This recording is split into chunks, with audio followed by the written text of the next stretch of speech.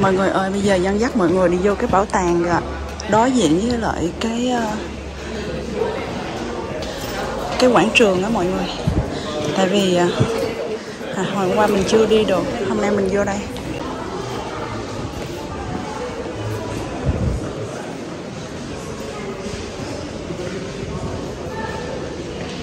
Ở đây nó có để nè mọi người.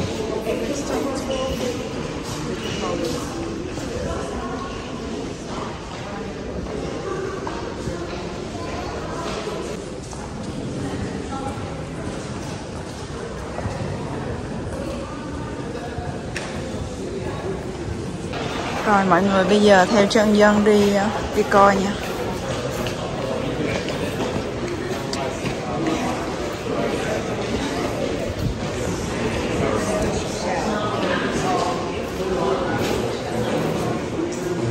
Do sạc pin được cái máy rồi, mừng quá.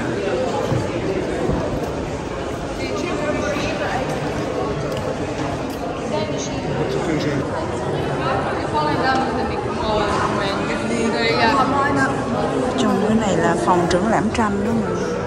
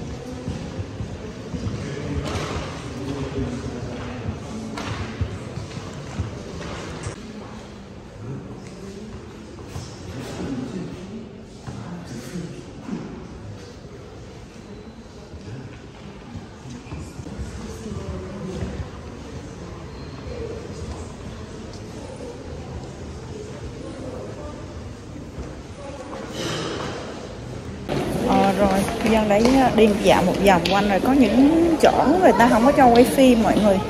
Không có quay phim chụp hình, chỉ có mấy cái chỗ thì người ta cho quay thôi. Rồi bây giờ thì dân sẽ đi ra và bắt bus để đi tới ờ, cái ờ, cái tòa nhà Skyden hoặc là gạch đền ờ, cái tòa nhà Skyden hoặc là cái tòa nhà gạch đền gì đó. Đây mọi người, hồi nãy dân đi dắt mọi người đi xem cái bảo tàng ở đây đây nó có tên là The, Na- The National Gallery. Bây giờ thì theo chân dân đi lại cái tòa nhà nha. Đi lại cái tòa nhà xong mình đi bộ ra mấy cái cầu. Cái tòa nhà Skyden hoặc là tòa nhà The Garden Act 120 ờ, gì đó.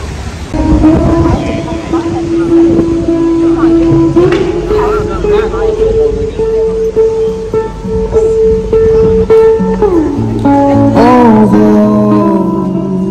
those little things.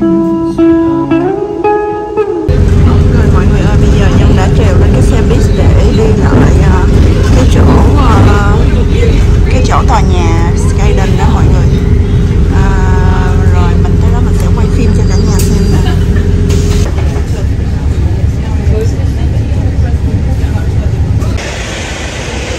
Rồi Nhân đi tới đây rồi bây giờ sẽ đi bộ quanh đó. Tại vì cái xe 15 này nó không có chạy ngang cái chỗ đó, mọi người chỉ có xe 11 thôi. Bây giờ mình sẽ quẹo xuống đây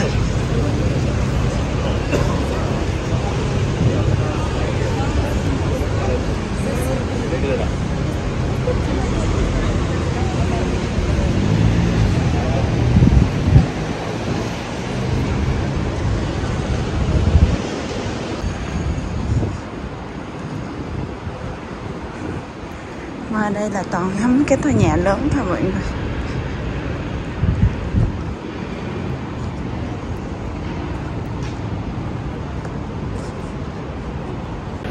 Rồi mọi người theo chân dân nha.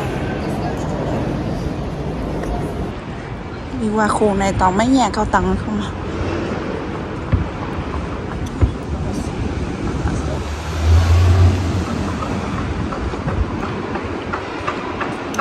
Rồi mọi người ơi, Dân đã tới được cái tòa nhà The Garden.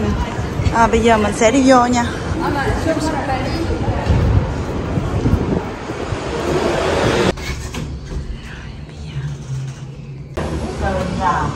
Rồi đã tới rồi mọi người ơi.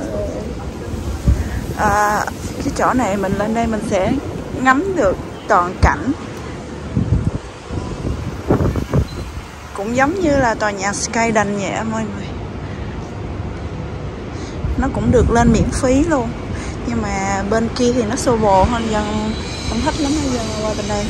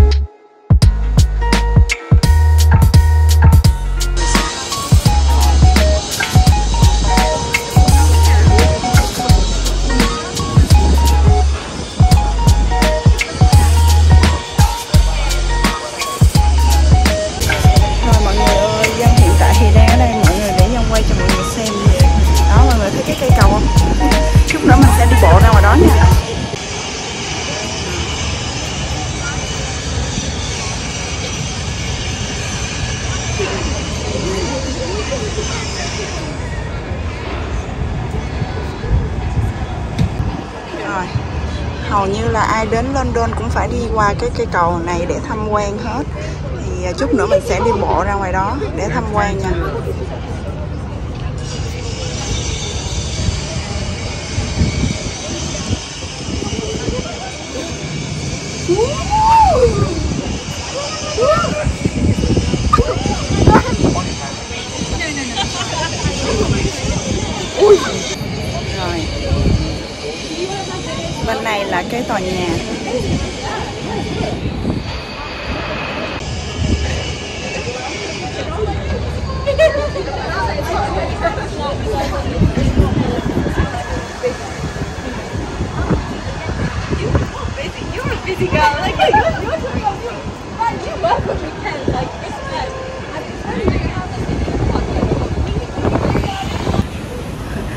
hồi nãy dân dân không biết là dân bước ngang qua cái ống cái nước cái mọi người, tại vì thấy nó thấp quá. Thì ờ, ở đây người ta không có cho dậy nên phải đi cái đường vòng qua, mọi người ơi. Cho nên là mấy mốt, mấy bạn nào ờ, cẩn thận, giống như là đừng có bước ngang qua cái hồ nước là người ta không chịu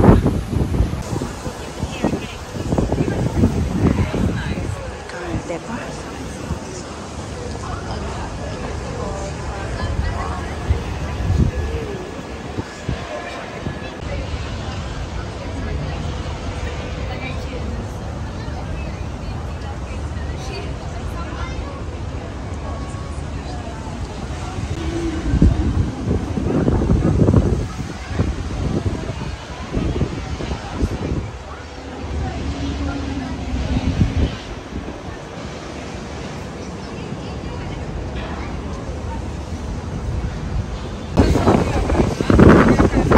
Đây, hôm nay hơi gió mọi người tại trên cao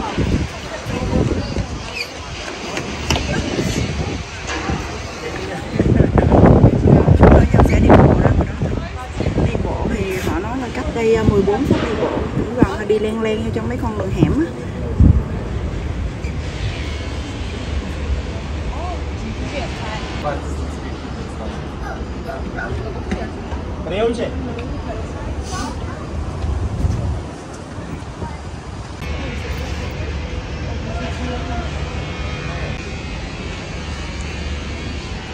Excuse me uh, Can you take a bit for me? Mm-hmm, yeah.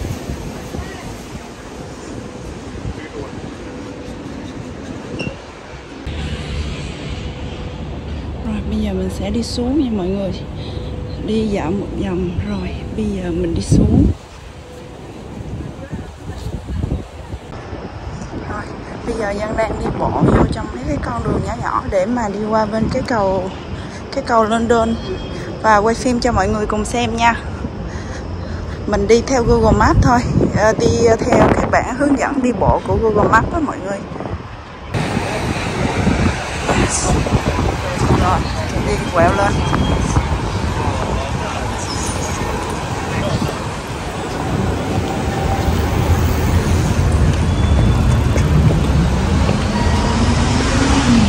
Rồi, đứng từ xa là nhìn thấy thôi nè, mọi người ơi. Đó, mọi người thấy không? Bây giờ mình sẽ đi bộ lại nha đây mọi người ơi tới rồi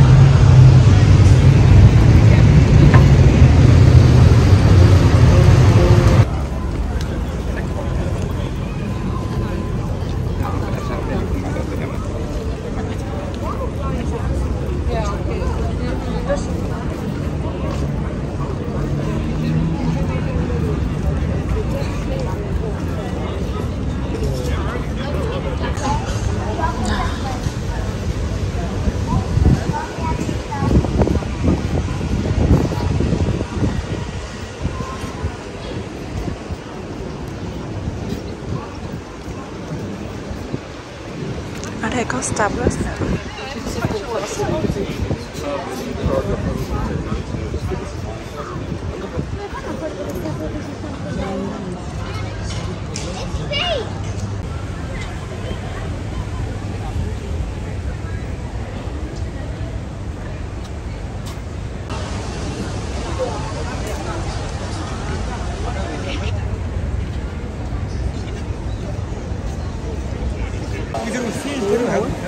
Cháu, cháu, cháu. rồi mình đi đi lên đó luôn nha mọi người à.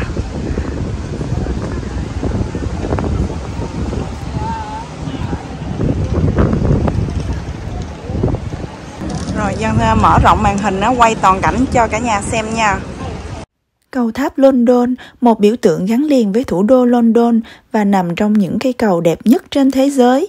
Địa điểm du lịch nổi tiếng của xứ sở sương mù và nó cũng là nơi lãng mạn cho các cặp tình nhân cầu hôn ở London.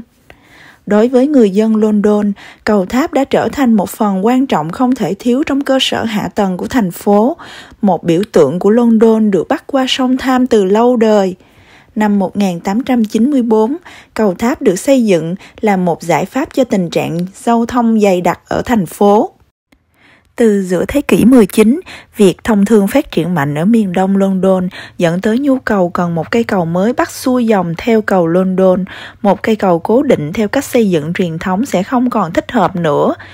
Một ủy ban nghiên cứu xây dựng đường hầm và cầu đặc biệt được thành lập vào năm 1876 để tìm ra giải pháp cho vấn đề nối liền hai bờ sông Tham, hơn 50 thiết kế được đề cử, nhưng mãi đến năm 1884 thì thiết kế của Harrison, kiến trúc sư của Hội đồng thành phố mới được phê chuẩn và công trình của kiến trúc sư George Washbury đã phát triển ý tưởng thiết kế thành cây cầu dài 244 m với hai ngọn tháp cao 65 m.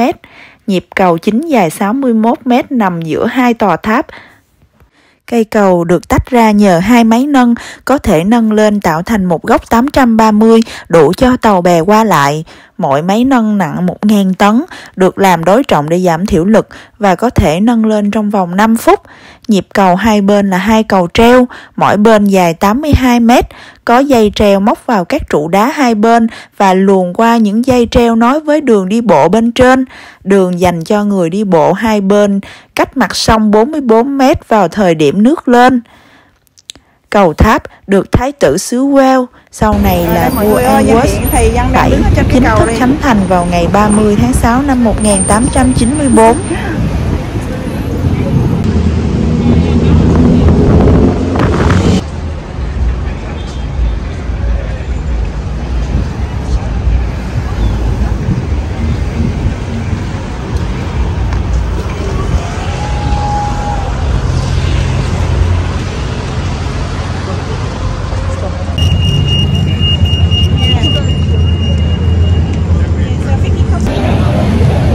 đang đi qua cái khu mà Gloucester Market gì nè mọi người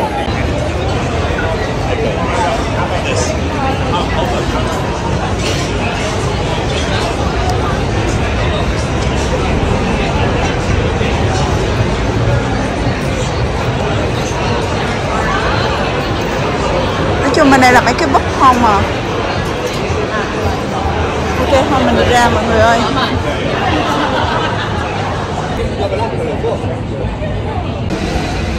ở đây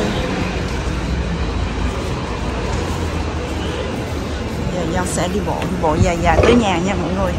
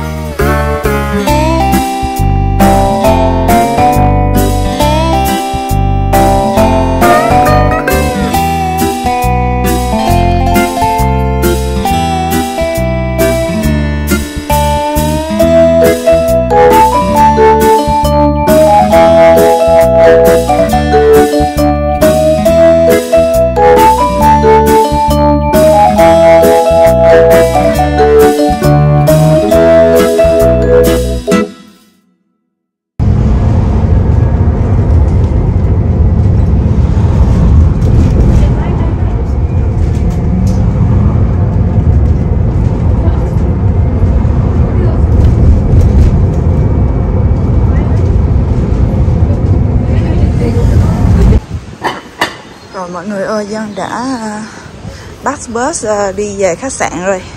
À, Bây giờ thì đi bộ là khách sạn. À, Tại nãy à, từ cái chỗ cái cầu đó xong rồi đi bộ đi bộ từ từ về tới nhà thì mất tiếng đồng hồ mất thời gian quá.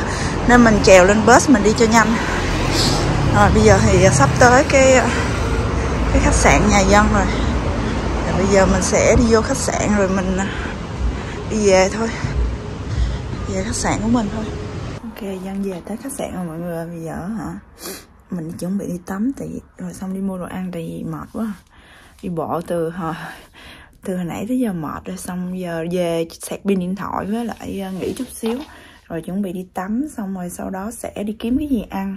Rồi dạo London buổi tối tại vì uh, hai ngày nay á, là hôm qua dân mệt quá dân không có đi ra ngoài đường buổi tối nhưng mà hôm nay thì sẽ đi ra để coi cái buổi tối ở London như thế nào nha. Rồi